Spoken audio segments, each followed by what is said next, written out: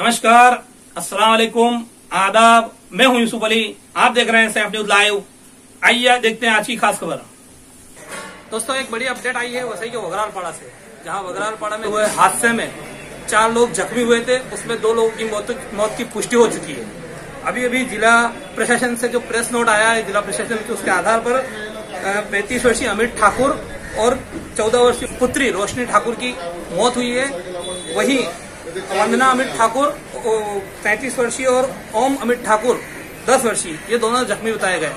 तो इस मामले में साफ़ हो गया कि दो मौत हुई है, दो मौतों की पुष्टि जिला प्रशासन ने कर दी है।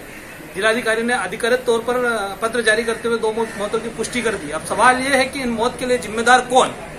और क्या जिम्मेदार है उन लोगों के ऊपर गुनाह दाखिल होगा? क्या तहसील प्रशासन हो या महानगर पालिका प्रशासन हो या वन विभाग हो? जिन लोगों की नाकामी के चलते इस तरह से हादसे हुए, उस हादसे पर आज जो दो जनों की मौत हुई, उसके लिए इन लोगों के ऊपर मनुष्यवध का गुना दाखिल होगा।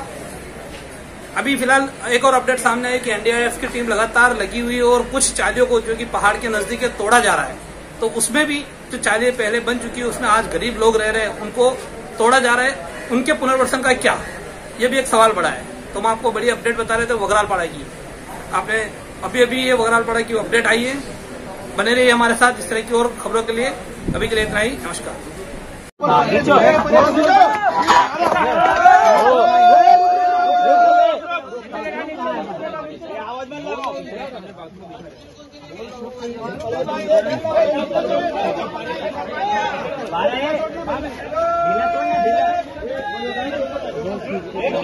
चलो